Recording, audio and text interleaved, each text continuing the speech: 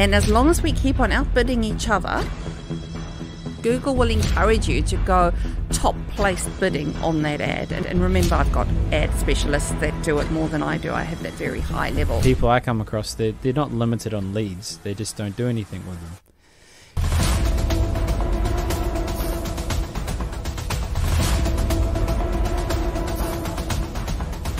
Good afternoon, it's Cathy Mellett from I'm Enough where did I'm Enough come from? And, and really, I think it's been a, a process of me consolidating information that I've received from young and parents. There's a bit of variation with how you're helping people depending on what they're trying to achieve. Is there one that you find that you're doing more? Like, I find if I'm selling to businesses, most of them want money.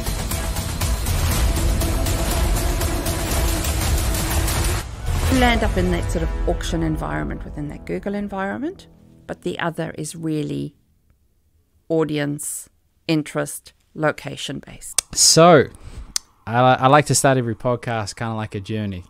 Mm-hmm. So, people are about to go on a journey and they want to know who the guide is, who's going to take them to the mountaintop.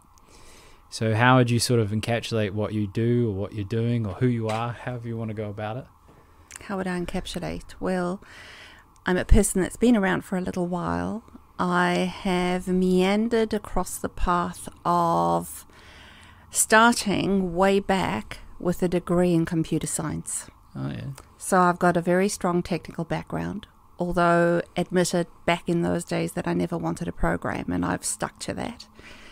It's possibly led me to a place of where I am today. So that very strong bent between marketing and tech um, I've been involved with some large tech projects in my time, and it was about 13 years ago, 14 years ago, that I identified social as possibly the new way of businesses being able to work in that social space. My company's called Net Branding, and people often say, why is it called Net Branding and not social something or digital something?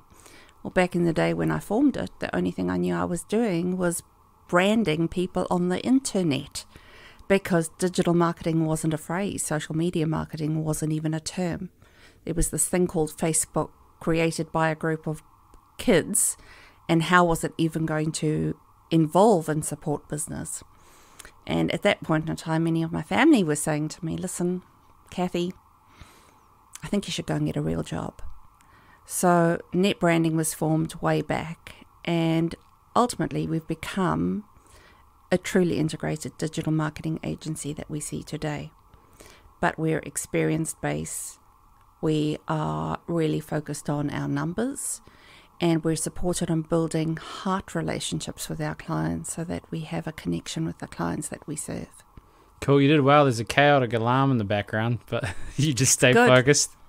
You, have learned. I'm, I'm a mother. I've got kids. I learn to block out. yeah, yeah. I can only focus one thing at a time, so I, I know it works. So okay, net branding. What was it like when you first started? So you know you want to build this online presence for people. Where you know cloggy like coding. There wasn't really website builders, or how did you go about it? So you know way back, obviously the initial websites were coded as websites. Mm. Um, and I'm talking when Microsoft was starting to come to the fore. So I can remember when Google first was coined as a phrase. Um, in terms of when I was starting to work with that, I really saw websites as an end to visibility. It was a method to get news out, content out, as you're really familiar with. And obviously, WordPress has always sat in that environment. So, WordPress was a tool to be able to get content out. And if you actually go back to my website, and I urge everyone not to do it, you will see some of my content from 2011, 2012. And mostly they were pieces of content that were only a paragraph long because that was all you needed back back then to get visibility for what you were trying to achieve. We know that that's not the way today. From a social perspective, and let's go into the Facebook environment because from memory it was Twitter and then Facebook came to the fore. So, from Facebook's perspective, businesses did not exist on Facebook. So, some of my very first clients still have a personal profile and a professional profile because it was the professional profile that we worked to become the business profile.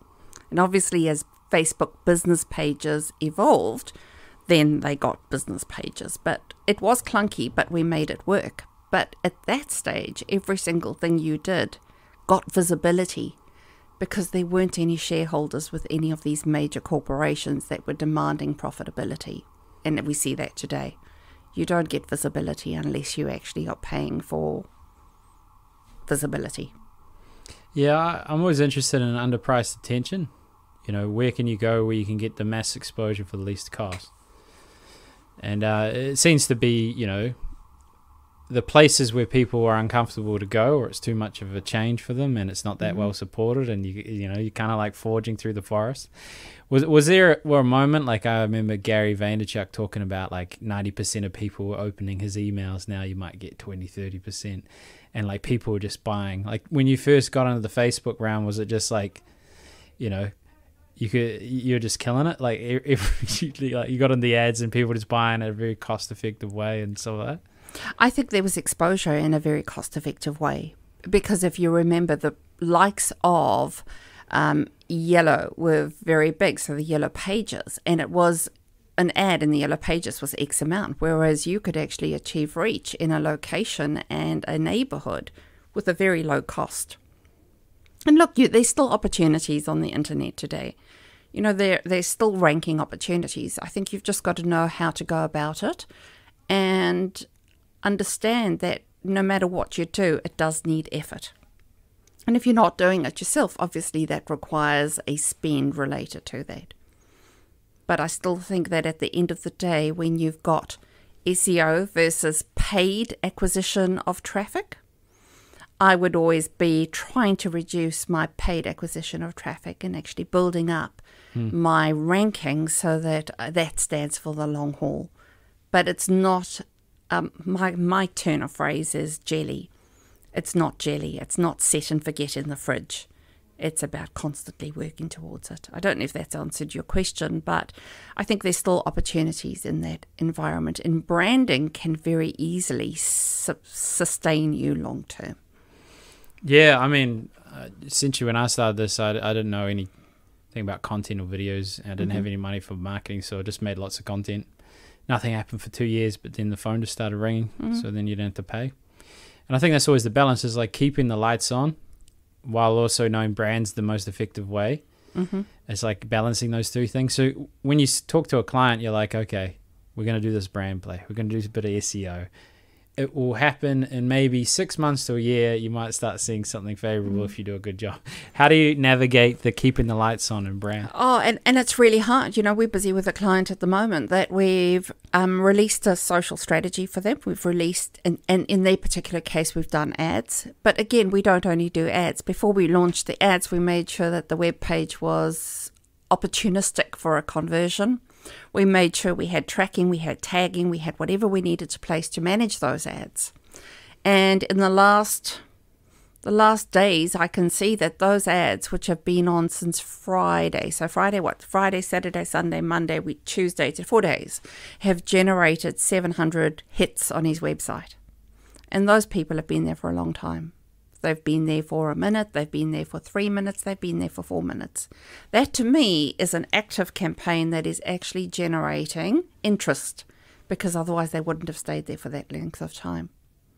And he's already saying, you know, where's the leads? But it all takes fine tuning and it all takes extra effort to keep those lights on. And this is digital whilst people think that we live in an instant society, an instant world. It still needs diligence, activity, intention to get the results. Hmm. I'll give you an example. I have a process that I, I work to, and often my team will question it. But I had a lead from somebody who I've repeatedly marketed to for three years. And when they were in the right space, that's when they came forward. So if I turned the lights out after a year, that effort would have been wasted. Hmm. So on, on, that, like, I mean, there's a book called The Ultimate Sales Strategy, or Ultimate Sales Machine, I think it's called, and it was um, a guy that used to work with Charlie Munger, so mm-hmm. like a billionaire that had this advertising agency, and all he did was ignore everyone else and just focus on the highest spenders of advertisers. and nothing happened for six months, and he doubled his sales year on year. Mm-hmm. And one of those things is being specific and, and, and going more in depth on each individual and not giving up. So, how do you manage either the nurturing of a lead so that you're still front of mind, but in a way that's not necessarily drawing on a massive time? Or were you were you calling them? Were you talking to them? Were you retargeting that one email address? What, what, do you mean what you're doing for three years? Well, there are multiple things that you could be doing. So you could be doing a combination of those. So it could be repeatedly sending them a newsletter.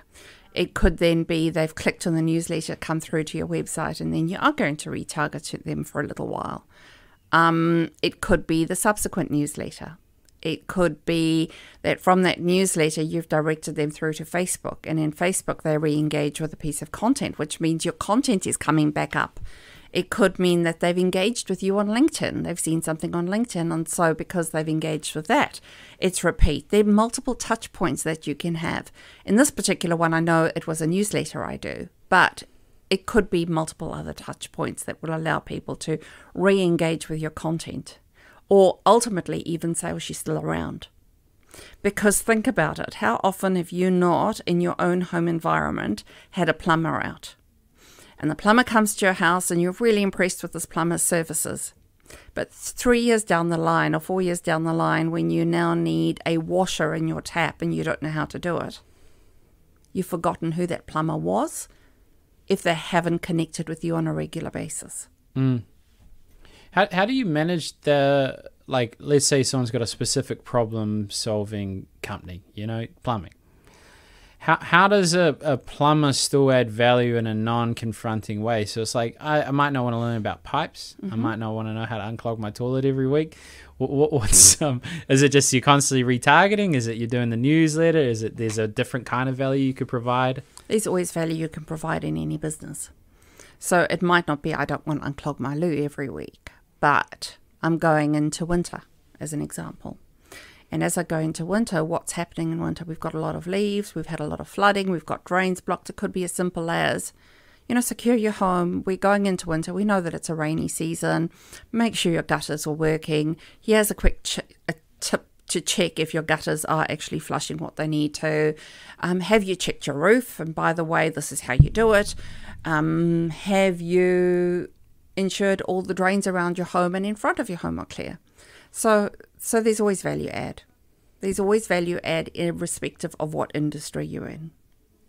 So, what are your thoughts on like? So, let's say you had a personal brand, and you have all these unique aspects to your life, and you share these different components, and that's engaging universally, mm-hmm. so to speak, or certain avatars that appeal to your style of content.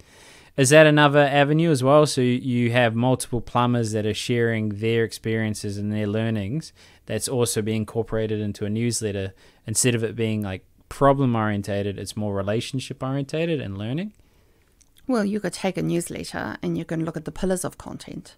So, um, you know, you might want to send a letter newsletter out, but you might want Employer of the Month, if that's what you're referring to. And it might be some Employer of the Month because they did XYZ and they've been identified as a star employee. Alternatively, in that same one, you might find somebody's got a new puppy and you might want to highlight that. So you can actually, in terms of the content, have a variety of content or have various members of your team write that content or support that content or share that content or share something that's of interest to them. Okay. Yeah, I was sort of meaning the Gary Vaynerchuk model. Like, so he's essentially, you heard of Gary Vaynerchuk, I imagine. Mm-hmm. Yeah. Like, so obviously he does talks a little bit about advertising, but a lot of what he's focused on is belief breaking, you know, like perspective, patience, all that sort of stuff. Mm-hmm. And that has a universal appeal that filters down to a call to action that might appeal to the you know Fortune 100 companies because you know they're seeing this large scale audience he's attracting. They're getting value from him as a human as opposed to the thing he does. Because mm-hmm. I always find that tricky is, especially in service, it's an intangible thing. And if you're selling the how instead of selling the likelihood of success, you know, like social proof. So mm-hmm. you like have all examples of the success that people have had from your services but any time I get into the how, it just sounds like work. It sounds mm. confusing. Mm. Sounds overwhelming. But by the same token, let's go as a, a little bit of a um, a questioning of that approach. Yeah, go on. So how many challenge me. How many times don't you get? Oh, we're the best digital agency in in New Zealand, and we'll get you ranking in the first page of Google, and I guarantee you the results. And you know, I see it all the time. I see I see the salesman using the value add so-called proposition, and yet the results at the end are not there. You know, the value that you've got for that service is not there there's very little tangible about that approach. So let's come back to the plumber. I can see in the plumber the value that they bring. What value will a plumber bring to you? The value the plumber will bring is that your house won't flood and that you'll have nice hot water and you'll have good running water to be able to have your cup of tea at night or your hot cup of Milo. That's the value, if that's what you're referring to, that the plumber will bring.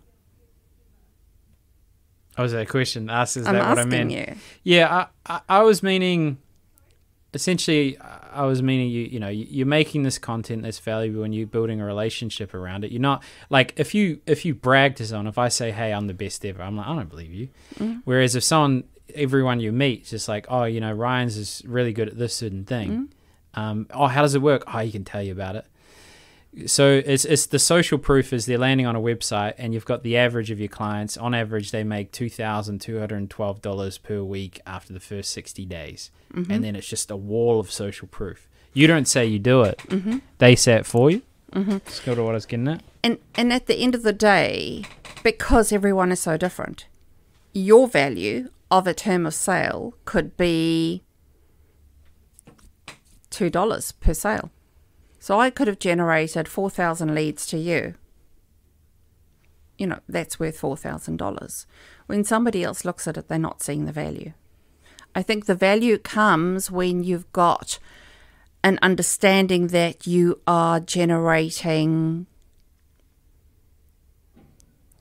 leads, you're generating conversions, because once, if you're looking at it from a digital perspective, you're sitting in a financial advisory position. I can generate a lead to your business. I can generate the phone to call, the, the phone to ring, sorry.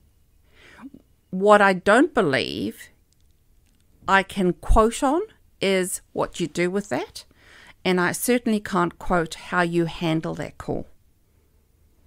So I'm a little bit loath to join the American style of marketing, hmm. which says, you know, I'll generate six hundred thousand more dollars of business, because every cost of sale is different, every cost of lead is different, or value of lead is different, and every search is different. So, looking for an insurance broker, there might only be 50 or 60 searches. Whereas looking for a nice red dress, we're looking at two, 3,000 searches. So, it's, it's horses for courses. I think at the end of the day, what you're wanting is website traffic. Website traffic that's there for the long haul, website traffic that's being funneled to the places that they need to. And once they've been funneled to the place, they will make the decision as to whether they want to be acquisi- acquired or not. Mm, So, so your focus is around the traffic. Like, I'm going to bring this amount of people to your website because I can quantify that and there's less variables. And I can watch when I hand the baton to you. Yeah. Okay. Well, on that, so so I've been go- deep diving into Facebook ads only for a few weeks, so obviously no expert. Um, and there's a few main campaigns. I'm not saying this to you because you you know this. Uh, it's just more for the people listening. Is you know a campaign objective. The algorithms got very good at putting content in front of people that are likely to make that decision of that campaign objective. So it might be sales, mm-hmm. it might be leads, mm-hmm. it might be traffic, it might be awareness. And I was listening to a guy that um, he was making, he was selling a product every 20 seconds. And he believed in e-commerce, if you're doing traffic and awareness, it's it's a waste of money. Mm-hmm. And he just uses conversion. Mm-hmm. So, are you when you're doing the Facebook ad campaign? Are you driving? Are you doing traffic? Are you doing a conversion event? Are you what sort of? Depends on the strategy. Oh, yeah, okay, So if the client's a new business, yeah, then you're possibly going to be doing awareness. Okay. If you're busy in the midst of a SEO campaign, you're also looking at other elements. You might want traffic to go to the website, but mostly we will be looking at a conversion, but a targeted conversion, not m- measured through. I very seldom measure them. Well, we do measure them through Facebook, but often through the analytics at the back end. So everything is honed in on the particular desire of that particular business. Mm. So at the end of the day, you're looking at what's the best way to get leads. The best way to get leads is when there's an awareness of the brand, they've hit the search, they're looking at those top search results. They see a brand in those top search results that triggers a I've heard of you before. Immediately they become a warmer lead because they connect with the brand. From there, you can drive them through to the website and, and they do what they need to do. So it sounds like there's a bit of variation with how you're helping people depending on what they're trying to achieve. Is there one that you find that you're doing more? Like I find if I'm selling to businesses, most of them want money. Mm-hmm. You know, they might say, "Oh, I want to make a difference," and that's true. It happens. It doesn't seem to happen too much. And then the other one is like, "Oh, I want more time." You know, I want freedom so I can do the things I want in life. Mm-hmm. And then that still comes down to money. Do you have enough money to hire the person that can Mhm. replace you? So, uh, are you finding a particular type of client you're seeing a lot, or a particular objective you're doing a lot? A lot of my clients want the phone to ring. Oh, yeah. Okay. So it's about, and we track that down to call monitoring. We know if the call's been answered, if the call, you know what's been what's been going on. So a lot of people want the phone to ring. They or they want the lead to come through the website. So they're wanting that inquiry that comes through that's detailed enough so that they can actually take action on it. They're wanting that call the phone to ring so that they can pick up the call and then actually do the conversion on the phone because often they find that that's the best way of doing the conversion. And in the e commerce environment, obviously, they're funneling through to actually the acquisition of the item at the end. Yeah, cool. Because yeah, I, I find you know even just this podcasting example, like only one percent of people make it to the twenty seventh episode, like they give up. Mm-hmm. And I imagine you know a lot of clients or people I come across, they're they're not limited on leads. They just don't do anything with them. So so I guess is that where you went more of the brand play, where they're familiar, so they're going to call them, and they're like, oh, this is glorious. I don't have to do anything. Or what led to the I, again, I think it's very similar to the strategy. I've never looked at what my competitors are doing. I do what I know works for my clients Hmm. and what keeps my clients with me. Um, I also do what when my you know there's a, a certain smile on my face when I actually get a call from a client going, "We've got more work than we can handle," because then I know that one they're keeping me on because we're delivering what we need to do, but also they've actually got now got a workflow that they're producing too and that they're performing against. Um, the other thing that is always a, a smile when I've had people come to me and say to me, I want to thank you, Cathy. And I go, For what? I mean, obviously, I'm working for them. And they go, Because if it wasn't for you, you've changed my business. And I wouldn't have a business right now if it wasn't for the new funnel of leads. And they possibly don't use the word funnel, but for the new flow of leads that I'm getting because of what we've done. That's good. Yeah. That's all you want. Yeah, you don't want them to have no business. It's not great. Do do you um are you finding uh, certain things are working quite well? So from what I've heard, if you do a Facebook lead campaign for say a service company, you give something away for free, and you have an instant form that goes to a booking tool or to a website, because that way it's very minimal friction for people. If they use an instant form, they just put their name, the number, it's already saved, and it comes through to you. hmm Or what are you finding is quite a an effective strategy? Like, are you doing like TikTok? Are you trying Pinterest? Are you doing LinkedIn? Are you just doing search because it's intent based, but then obviously it's very expensive? What are you finding? Um, across the board, I'm trying to think. Often that Facebook form is a really non-confrontational, so the Facebook campaign that leads to a form is Yeah. is quite a good a good way. Um, some of my clients work really well with forms on their website, so you've driven them to the website and they fill the form in and away they go. Um, the thing that I'm I question again Yeah, go on. is I don't mind being questioned. no, and, and I'm not questioning you. I often question it myself. And I think that's why when I choose to go and educate myself, and I try and educate myself regularly and each year, I often will not will refrain from heading to America because I think the American market is based on a very hard level of funnel strategy, funneling people to a place and pushing them out the other side. I think in the New Zealand environment and the, the demographic that we service, it's a very different demographic. And I think that the hard push to gather as much detail, sometimes people don't want that. So the thing that I like doing is giving them an instant result. So, yes, they'll give your email address or yes, they'll give something. So they know they're going to be remarketed to, but they also know that they can pull out of that if they want. But, you know, give them something without having to sign their life away in terms of big form fills. That's possibly the best value. Okay, so how, how do you balance the them seeing it valuable? Like, let's say it's an application, so they they're applying for the opportunity to do something, so then that gives the illusion it's more valuable compared to convenience. Do you do you ever dance between those two, or or you're always like, hey, let's get them to do the little least amount as possible and the least breach of privacy?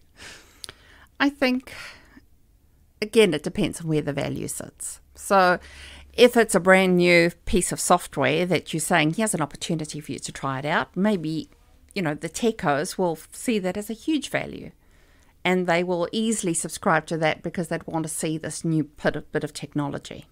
Whereas on the other side, if it's somebody who's time poor, doesn't want to be interfered with, has a particular need for the piece of information that's behind it or thinks it will be of value, then try and keep it as easy as possible.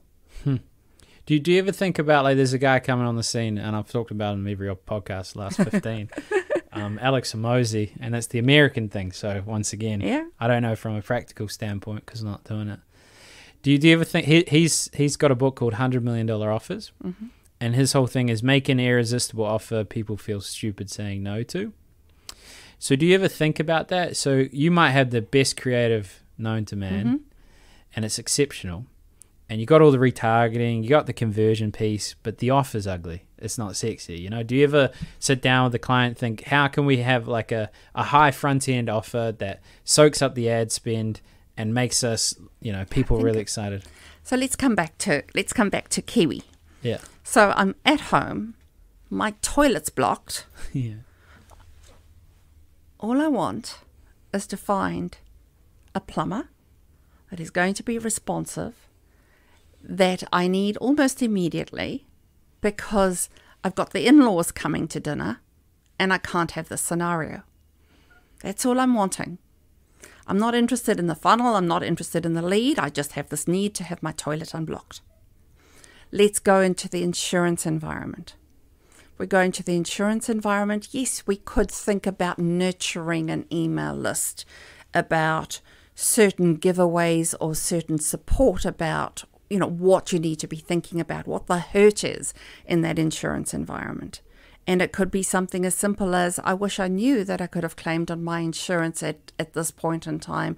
But you know, the broker that I used didn't advise me, but this particular broker has advised me, and there was actually a claim that could be made. So go through your policy. Here are the points that you need to check. It could be any form of intro to get people to actually go, well, that person seems to care and that person has a difference. It could also be that lead magnet, that lead giveaway, that PDF. So again, it's story for story, place for place. And it's not always about that lead magnet to give them an offer so that they can take it away and sell to them later. Because mm. I ask you, how many of those things that you've opted into because you've got a fandangled PDF have you actually read? Yeah. Yeah. Yeah, I'm not a good example because I, I read them all, but but I get why people they, they, can't be bothered, don't want to read it, they get sent this thing and then have bad experience because they're bombarded. Or alternatively, it goes into the I will read it next week. Mm. You know, and, and one of our clients, it's as simple as they come in, they have an inquiry because they've got a need. Mm. They go through from the page that they're inquired on to a thank you page with a video from the business Mm. thanking them for making the inquiry and confirming that somebody will be back in touch with them. Mm.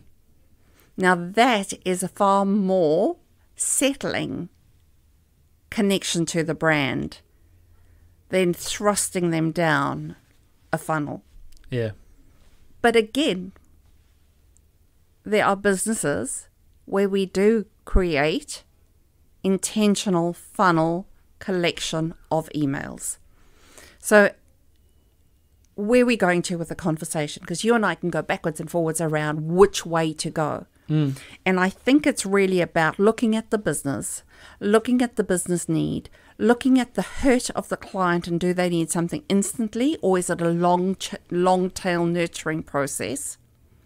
And then working through that nurturing process and see how you can coerce and connect with those people in a meaningful way so that your brand becomes a memorable brand and when they have the need and they're possibly doing a search or they possibly then recall your brand, they're back in the mix with you. Hmm.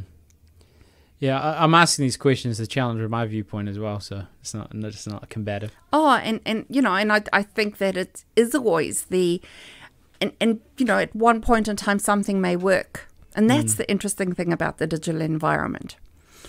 The digital environment is an environment where the only real things that you can control is the content and how your website's made up. Hmm. What you can't control is the LinkedIn algorithm. What you can't control is the YouTube algorithm. What you can't control is the, uh, and I, the list can go on, of the things that you can't control. So at the end of the day, you can only control what you can control.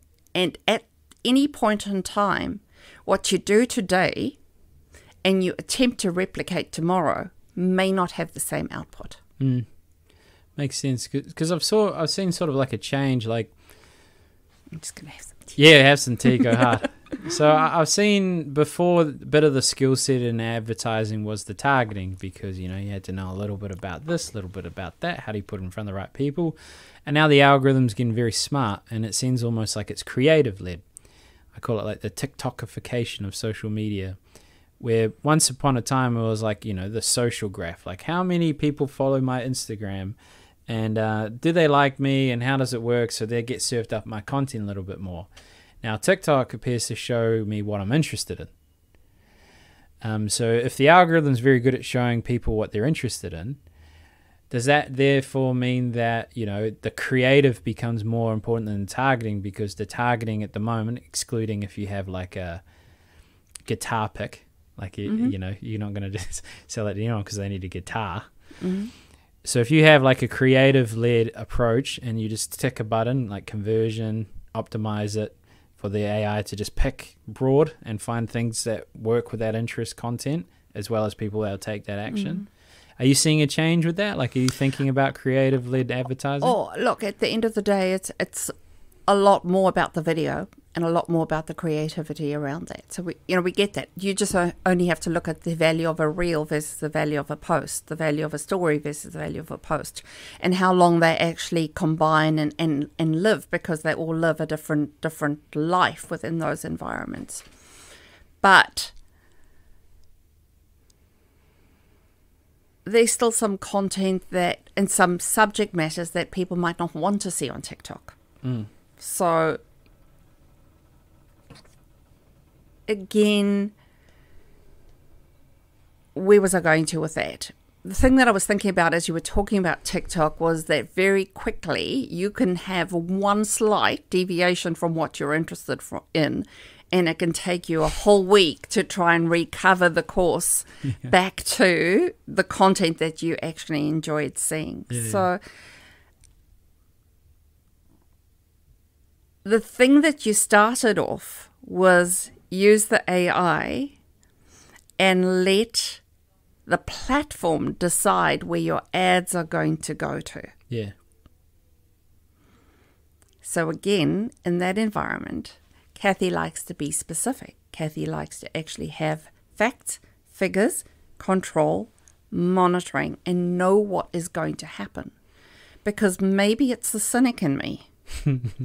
but the cynic in me will be saying, if I hand over all my budget to a place that is responsible for shareholders' interests, will I actually get the best value and optimization of my ad? We look at how Google has gone and Google Ads Management has gone. One of the things that Google is trying to get you to do is to throw your ads wide open. They've removed some of the match criteria that will allow you to really hone in on the ideal search that you want, and they're trying to really make sure that you have very broad match. Broad match is an absolute waste of your money. Hmm. so at the end of the day, I'd rather control and not use all the I'll give them the free reign to decide where best to place my ad. And I do try and manage it myself.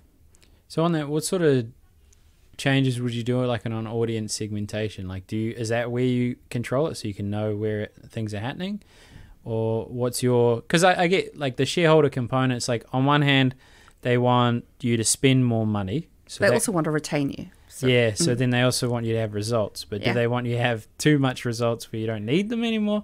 So yeah, that's a good point there. Well, I mean, I'll give you an example. So on one of our clients, we were we've been doing work with them for a long time, and we have a very close relationship in terms of what their cost per acquisition is. And we could see that their clicks, we started off with clicks that were about a dollar, two dollars. And we saw them climb.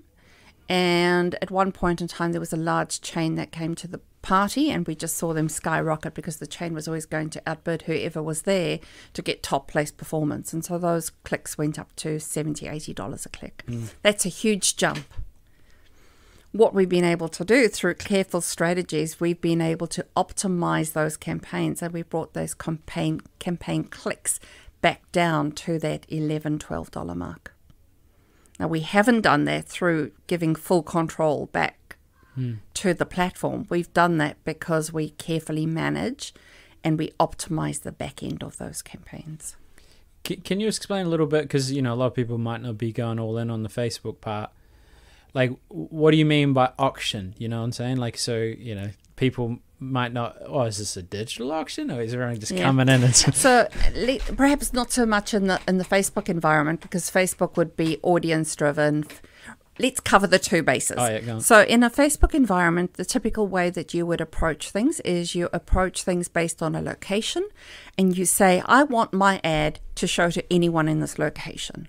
Alternatively, you would position an ad on, I want my ad to show to people that have a certain interest.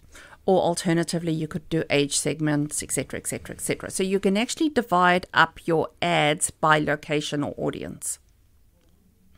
Then you can choose what you want them to do with the ads. You can choose them to actually take an action, which could be a click through to a website. The action could be a conversion on a form, or the action could be an engagement with your content that you're sharing. So that is typically your Facebook environment. As we go into the Google environment, the Google environment is very search intent. So your ad will display and I'm not talking about display ads, I'm talking about search ads. Your ad displays based on a search. And so, if everyone is looking for, and let's just use the word again, the plumber, because we've covered the plumber a few times. And so, we're looking for the plumber, and we're sitting in the CBD because that's where you offer. So, somebody's looking for the plumber in, in a, the CBD area. Yeah. If that's the search phrase that we're looking for, well, then you'd want your ad to come up. You don't want a plumber in Christchurch coming up when you're looking for a plumber in the CBD. Now, how many plumbers would service the CBD? You give me an idea. Let's just I imagine a fair few, maybe 50, 60, yeah, maybe. Yeah. So we've got 50, 60 plumbers. Not all of them will want to be on the, you know, will be advertising because some will say, I've got enough work. But, you know, we could have 20 or 30 plumbers at any point in time wanting to appear for that search term, plumber in the CBD. Now we get into the auction scenario. How much are you prepared to pay for a lead based on a search term that's positive to your business versus how much am I prepared to pay? Hmm. And as long as we keep on outbidding each other, because Google will force you, not force you, Google will encourage you to go top placed bidding on that ad. And remember, I've got ad specialists that do it more than I do. I have that very high level, high level understanding. But very quickly, you can be in a bidding war and you can just be playing topsy turvy and going one above one another. Hmm. So you land up in that sort of auction environment within that Google environment, but the other is really audience, interest, location based. So, what are your thoughts on those different strategies? So, like a lot of people I see gravitate towards the intent because you know there's less thinking. Well, there's a lot of thinking still, but like they're more likely to get some tangible thing quickly. They don't have to make this beautiful picture or like video on Facebook or something. What are your thoughts on the different platforms and and and how someone could use that as like a framework to decide how should I go about this? Should I my audience are here, or I'm not that good at creative, so I should think about this, or I'm really good at keyword optimization. It comes down to that initial discovery. Where's your website currently? Is it converting? Isn't it converting? Hmm. What's happening? What is your ranking? What is your visibility? How close are you towards actually being found for the words you want? Do you need SEO? You don't want to do SEO? Well, maybe we need to do ads. Maybe those are search ads. Are you a new business? Are you an old business? Um, are you an existing business? Do you have a network? Do you want to only do remarketing and bring people back? It really is that discussion with that client base around that strategy of, of where they currently are, where's that baseline, and then what are the plug and play bits that you want to bring into the mix moving forward.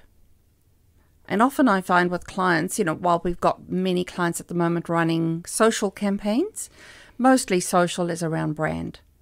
But by the same token, you've got an event. You're running an event, you want people at your event, where you're going to place that event. You're possibly going to place that event where people will be enticed to attend the event when they're not absolutely searching for it. No one actually goes out and goes, I think I want to attend the cultural art exhibition down at the viaduct that's possibly come to them through advertising promotion, and they possibly are more likely to have seen it through a social channel. So, that sort of environment, obviously, you're going to be utilizing Facebook Yeah, it's or other social platforms. whatever makes sense for Mm. you. That's actually how I got the job here. I started running Facebook ads for events because I want to learn about money.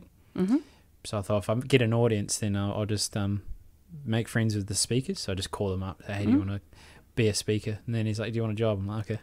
So four years of being advisor. So you hear, but you know, having all of that can be worked through, and those are discussions that either the business owner can do themselves, the company director and the board will make some decisions as to what strategy they they want to, to go or what path they want to go down.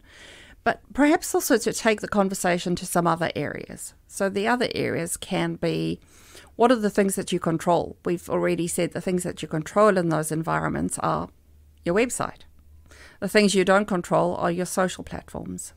So, how many times have I not been involved with recovery of social accounts? Because, you know, you, Ryan, you've joined the business, somebody gives you the Facebook page. Um, you're happy as Larry in the business. Everyone thinks you're the best employee since sliced bread. But a year and a half down the line, things turn. And off you go, and no one remembers that you're the only person that has access to the Facebook page. yeah, it's a lot. and there could be a grievance thrown into the mix. Yeah. So, how do you navigate that? How do you manage the risk associated with allowing external parties access to what is your assets? But more than that, ensuring that those assets are protected because one of the biggest things at the moment, and we saw it in the Herald, is the corruption and the compromise and the um, security breaches on Facebook pages. And we also know that Facebook's not the easiest to deal with when it comes to accounts that have been lost or compromised. Yeah. And I've seen some pretty interesting attacks and compromises over the last year. You know, I've seen the ransom, I've seen threatening family and friends on your Facebook page to show them you're watching porn when they've never actually watched porn in their life, but they've infiltrated into the page and they're actually sending people messages from their own friend profile Yeah. in the page. Um, you know, I've seen lost accounts. I've seen we've recovered accounts for clients.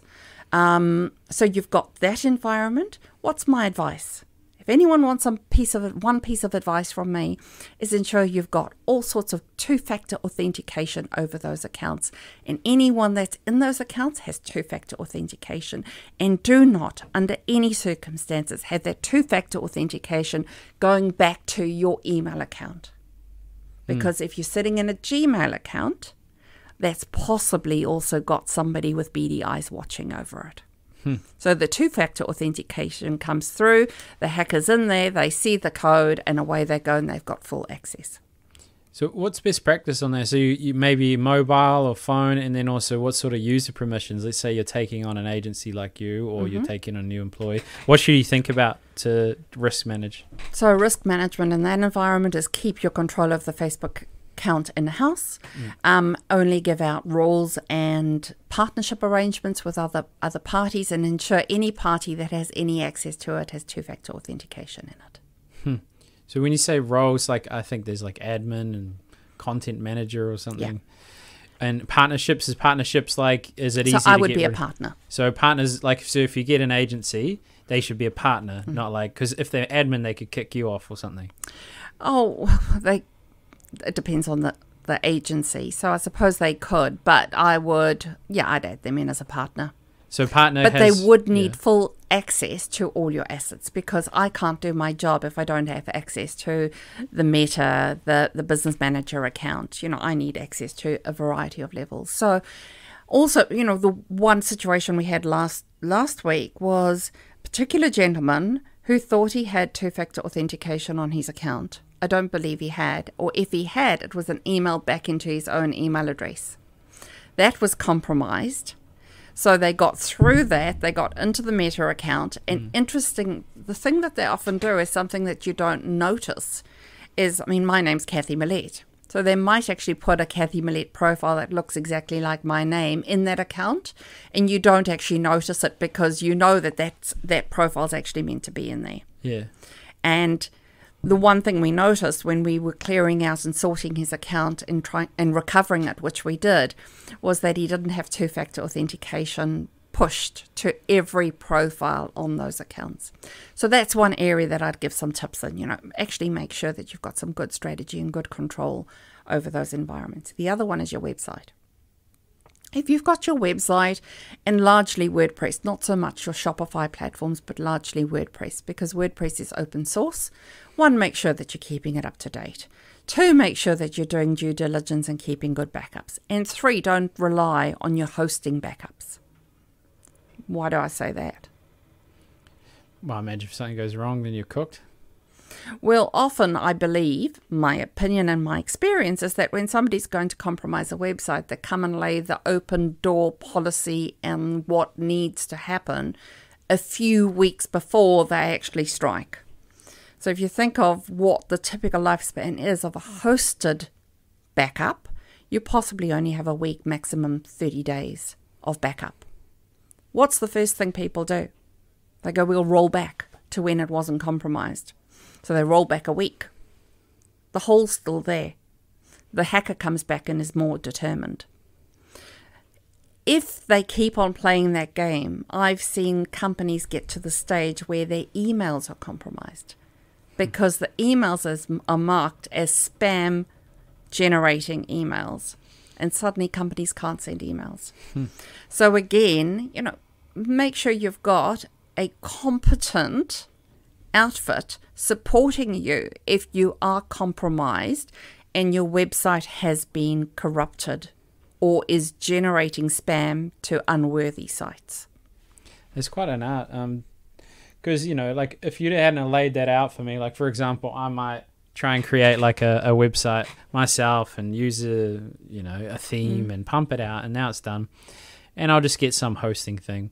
And you don't really think about like you know NZX was they were compromised. They essentially all these uh, attacks of sorts where they're just getting an overwhelming amount of information the system couldn't handle. Oh, that's a denial of attack. Denial of attack. Yeah, Ah, so what that, that really means is there are so many hits on the website that based on the bandwidth that that website can cope with, it's unable to service the request. Hmm. So in other words, you're giving a request to the website, I'm giving a request, next one's giving a request, and the website gets so confused that well, the hosting gets so confused that it really doesn't know who to serve and what to serve to who, and then it just lies flat and says, "Give me a cup of tea and wake me up when I'm feeling better." Hmm.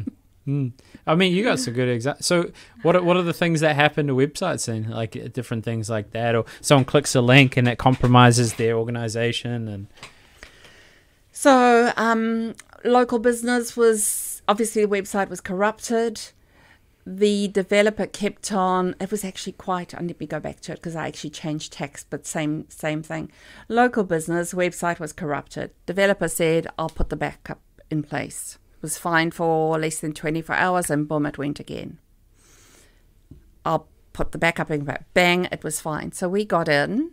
We recovered the website but they had left enough space that there was still some rogue file sitting there and it went down again. My security specialist said that that was possibly one of the most elaborate hacks that they he'd seen. It took us 5 days to get it back.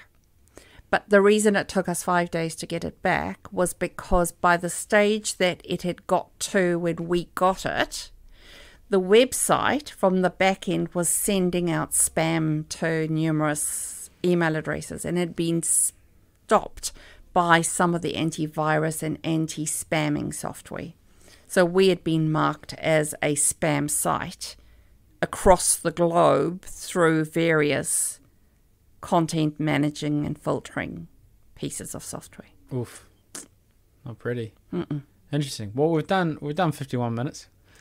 Um, so I guess uh, like a an ending point, whether it's just an organization thinking about these sort of things and how they should protect themselves or what they should think of from a advertising component, and then who should find you and where they find you. So the one thing we haven't spoken about is, and then I'll answer the who they can find and how they can find, is living in this environment for as long as we have, or I have, surrounding myself with close team members that are with me today that are experts in their area. But yet acknowledging the value that we've spoken about and perhaps debated a little bit that digital can give. Hmm. The fact that it's a have to have tool in most of our toolboxes if we run a business today, but yet actually looking at the impact that it can have on business. And it was interesting that overnight there was a, a lot of release around Lush and Lush actually removing themselves off some of these social platforms because of the harm that social can bring. And that's something that I've spoken to for a long time. In fact, I've authored a book called The Hidden Pandemic Surviving Social Media, protecting our young people in this environment where we see a lot of digital addiction and digital um, men- related mental health. So, it, you know, by the same token as what we've spoken for 51 minutes, as you said, around the benefits, strategies, ways to approach things, ways to protect yourself, um, you know, there's also another side to digital. And one thing I would urge anyone that is listening to this that possibly has a child is to have conversations with those children rather than absolve yourself from the conversation. Whilst you might not know how TikTok works, you might not know how to get a reel up, you might not know how to navigate through a Facebook page, and you might need to call a young person and they will laugh at you. At the end of the day, you've got life advice. So always open the conversation to your young people and say, no matter where you are, no matter what you've done, no matter how you're feeling, I'm here for you. Because often as parents, we resolve ourselves from that environment and we don't extend that helping hand into that environment. So start the conversation. Where can you find me? You can find me at Net Branding, so it's N E T B R A N D I N G dot co dot nz, or if you were in America, dot nz. Um, my tagline should be pretty findable because it's net branding, be seen, be heard, be found online, and that's exactly what we do. We're Auckland based, but we service businesses from, you know, in New Zealand, we service businesses in Australia, we service, service businesses in some of the Eastern countries um, or the Asian countries, we service businesses in Africa. Um, so we've got a very wide range of, of clients that we support. Cool. Boom. Boom. And if you're wanting to see my charity, my charity is called I'm Enough. I'm Enough.co, which supports young people in the digital environment, believing that they are enough. Well, um, I will have both those in the description. and uh, thank you for coming on. It's my pleasure.